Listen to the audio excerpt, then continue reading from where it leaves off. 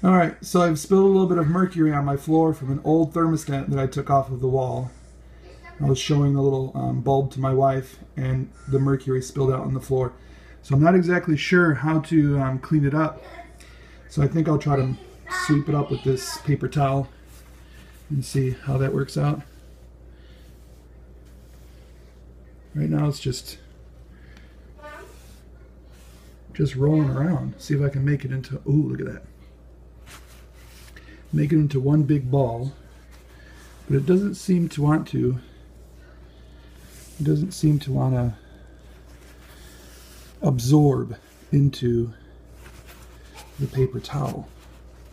So do I pick it up with my fingers? I remember playing with it in science class when I was in elementary school. But now I'm not exactly sure what to do with it. All right.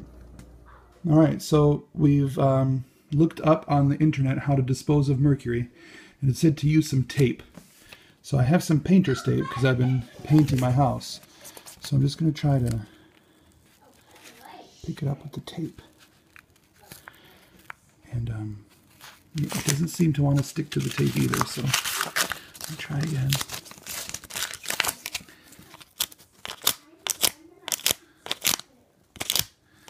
No.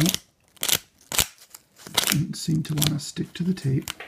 All right, well, I think we're going to try something else and contact our local health department to see if we can...